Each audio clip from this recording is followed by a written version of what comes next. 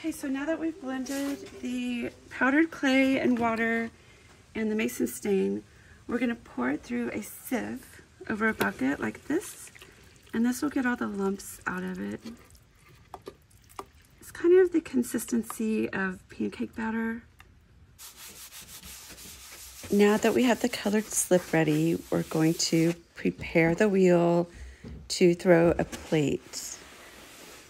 So I am washing the bat and drying it so that it's just slightly damp.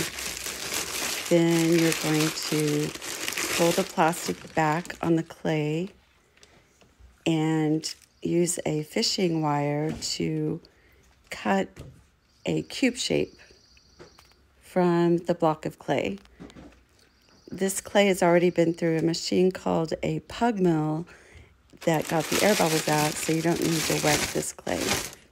Be sure to wrap it up when you're finished so that it doesn't get dried out for the next person who needs to use it.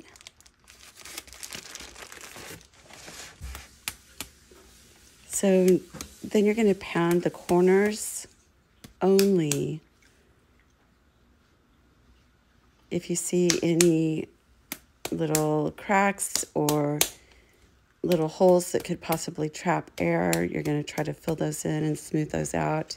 After you prepare the ball of clay, then you're going to get your finger wet and just hold it steady with your arm locked on the pad on the ledge and draw a circle, place the ball in the center of the circle and then begin to secure the clay by pressing slightly, just press a little skirt around the base of it. Get your hands wet, and the first movement is to push down to make sure that ball is attached to the bat.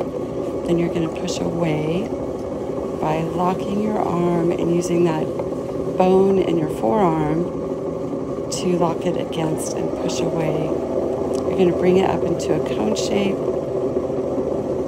and you're going to push down again, push away, and then pull in on the side. The reason you want to pull in is because if the clay continues to spread out, your piece will get smaller and smaller and smaller. So we're trying to scoop that clay back in. You're going to push down, away,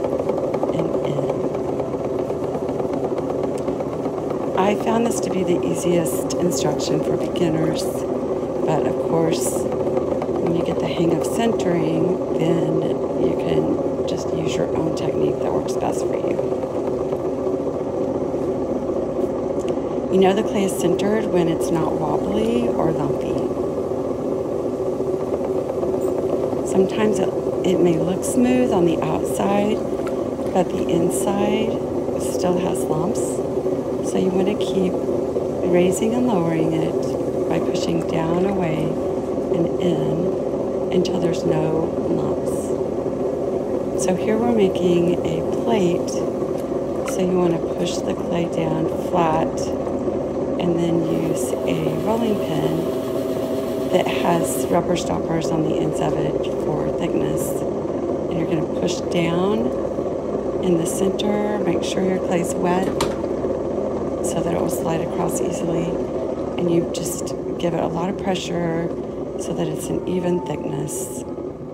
And the rubber stoppers will make sure your thickness is even. Then you get your rib tool and smooth it. Scoop off the extra slip. Slip is just watery clay. You don't want your clay just to be soaking in water because that would be like pouring water on a sandcastle and it would make it weak. You just need to keep it strong and the particles packed tightly together. Use a needle tool to trim the outer rim to make sure it's nice and smooth and even. Then you're going to run the needle tool underneath that little strip and pull it off all the way around.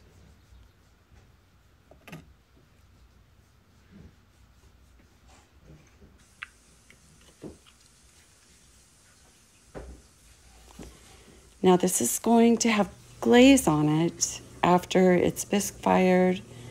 So you need to make sure that the edges are very smooth. You use a chamois, which is just a piece of leather, and you're going to smooth that rim with the chamois. Just using a soft sponge to clean it up on the outside edge. Then you can get the colored slip that we prepared earlier, and we just used mason stains. This is peacock green.